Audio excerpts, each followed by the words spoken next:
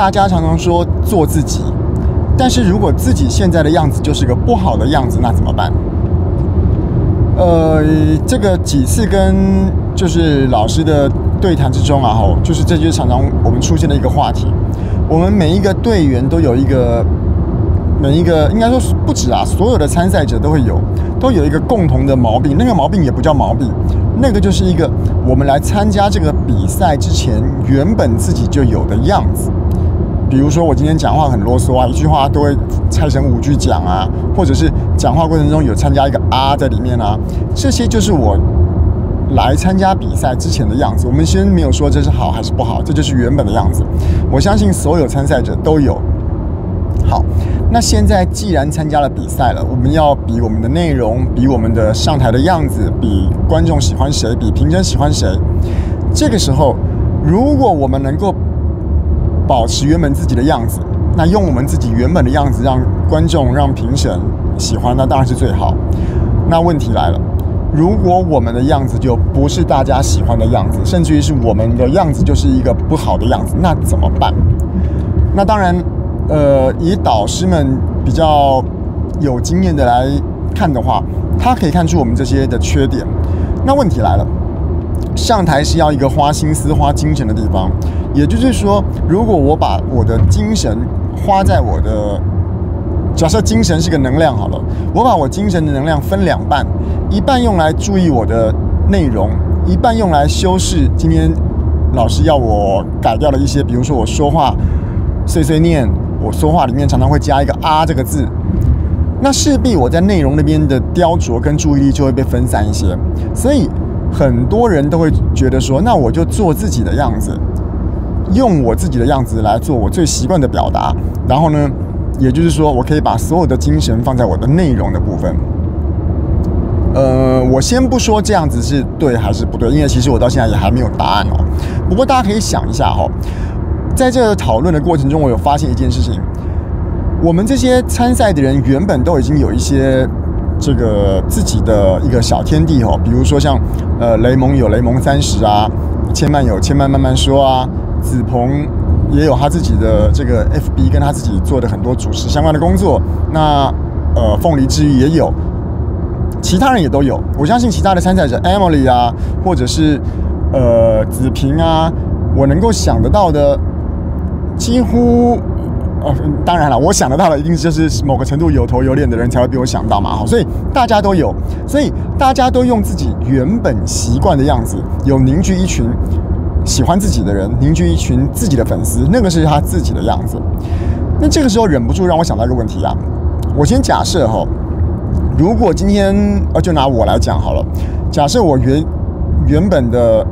科学教育工作，原本的 YouTube，原本的 FB，有一百个人喜欢我好了。那我现在做的样子，我会觉得，哎，一百个人喜欢我好像也蛮好的啊。可是就会碰到一个问题，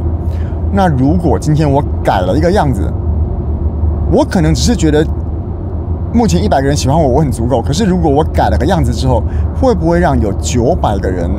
再喜欢我，也就是说，我原本每一个人来这边的之前，会不会有一种情况是，大家对自己的，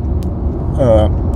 就是其他人对自己的肯定，我们就随便讲一个参数，就叫粉丝数好了。我原本已经对一百个人、一百个粉丝喜欢我，觉得很足够，觉得沾沾自喜。但是殊不知，如果我换一个方式的呈现的话，搞不好会有其他九百个人再喜欢我。也就是说，我现在在做自己的过程中，说不定。已经推掉了九百个喜欢我的人，我原本可能可以让更多人喜欢我的，可是我却为了做我自己，所以才圈到这一百人，而我却因为这一百人觉得满足，因为这一百个人搞不好还觉得沾沾自喜。我没有说这样这个理论是通或不通，但是我想到了这个问题哦。首先哦，我们先说，呃，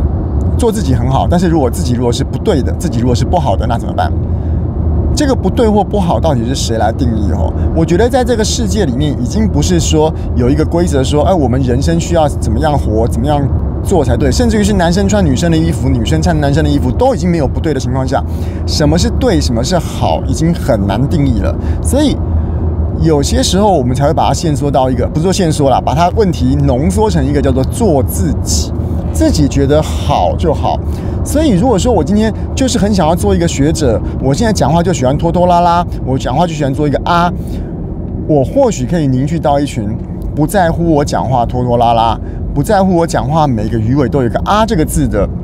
喜欢我的一群人。那我这个时候，如果我想坚持己见的话，我就会说，对啊，所以我就是用我自己喜欢的样子圈我自己。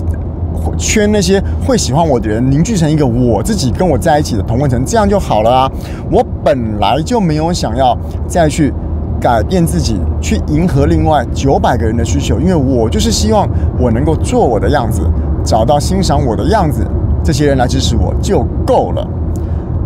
好，那这样想可以，这样想某种程度上可以。我们每个人对自己的标准本来就是自己定的，但是后来我想想，我的话又说回来。那如果是这样的话，那干嘛来上节目？说实在的，上节目，我很诚实的说，我一定有希望能够有更多人来喜欢我。那如果我今天用了上节目这件事情来让更多人喜欢我的话，那我是不是就不应该做自己了？我觉得某种程度来讲，对，不应该一直做自己，因为。我在网络的世界里，不论是 YouTube、Facebook 或者其他的网络的社交的圈子里面，我用我自己的方式，可能凝聚成凝聚些觉得对我印象还可以的人。可是电视有电视的语言，竞赛也有竞赛，它需要的另外一种呈现方式。如果我不去改变自己，如果我不去突破这个，而我坚持要做我平常在其他领域里面的自己的话，那那我是不是反而？就算我有再多的实力，再多我有再多的想法可以让观众接受，他们都会因为我没有符合电视这种传播的方式，比如说废话太多。而让我自己失去了很多东西，所以我大概想要讲的是说，做自己没关系。可是呢，你换了个频道，换了个平台，如果你今天的目的就是希望利用一个新的平台来让更多人了解你、认识你的话，那我们对自己绝对是有适度的需要做一些调整，因为不同的平台、不同的属性，即使你有原本的内容，你都该需要做一些呈现方式的调整。我们要大家喜欢我们的是我们的核心价值，我要大家喜欢我的是我推广的科学教育理念，并不是我一定要大家喜欢我讲话会啊啊啊，或者是讲话一定要拖泥带水，那个东西应该要改。这个是我对今天上节目该不该做自己所做的一些结论。